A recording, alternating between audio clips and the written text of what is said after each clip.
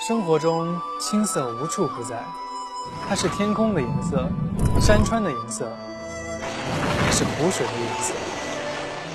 它是中国人骨子里的含蓄与淡泊，一笔画丹青，一抹东方色。每当万物苏醒的时候，天地间最初的颜色就从青开始。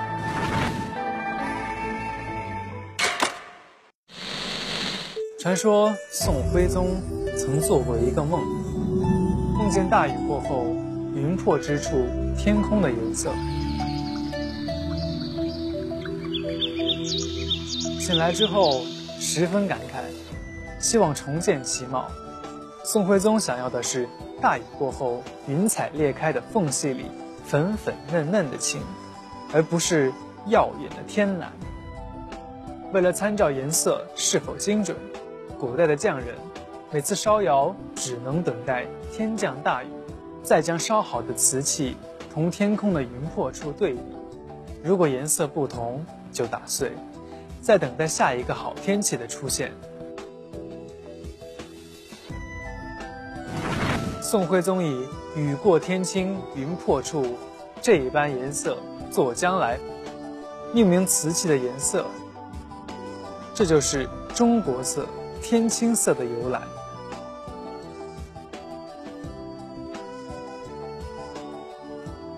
这就是我心中最美的中国色。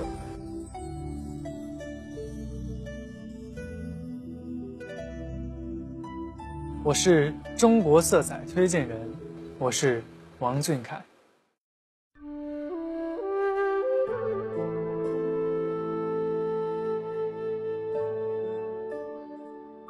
这是围绕着我们的“清”嘛，来运用一些汉字，然后让这个“清”呢变成其他的字。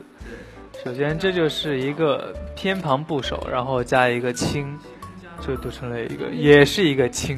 就“清”它这个字在右边，其实它很有趣。它加上什么部首之后，它就把那个领域当中最极致的那种美要呈现出来。对，那个状态。清水，哎，这就是水里边最美的那个状态。对对对。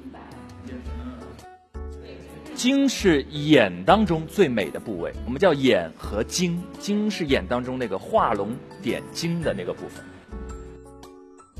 然后呢，这是一个情感哇，爱心最美的部分。对，所有的心当中的有了情之后，情就是其中最唯美的那个那个部分了。对，嗯，是的。